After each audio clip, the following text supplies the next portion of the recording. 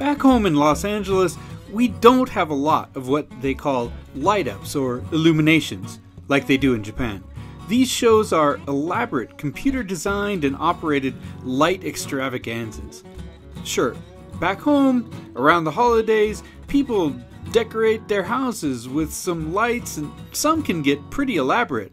But when I came to Japan, I learned what a little creativity, a lot of lights, and probably a pretty good stack of bills can do. I was amazed at some of the light mapping and laser shows back in Nagoya, and that's as true up here in the mountains as it was back in the city. In fact, without all that light pollution, these mountain lights really create an experience. Well, every year around this time, they have a light up at Alps Azumino Park. We went last night and it was something else. If you're in the area, it's worth a visit to the park at any time of year, but in the winter, when they put on this show, it's really quite worth it. It's a national park, and as far as I'm concerned, a great use of tax dollars. In fact, the park is so big that there are actually two entrances, one on either side of the park, and the distance between them is a good 20 plus kilometers. This year, the light up was at the Hotaka entrance.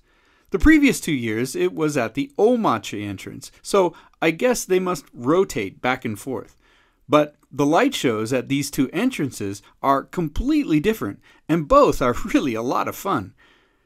Here are some scenes from this year's show at the Hotaka entrance.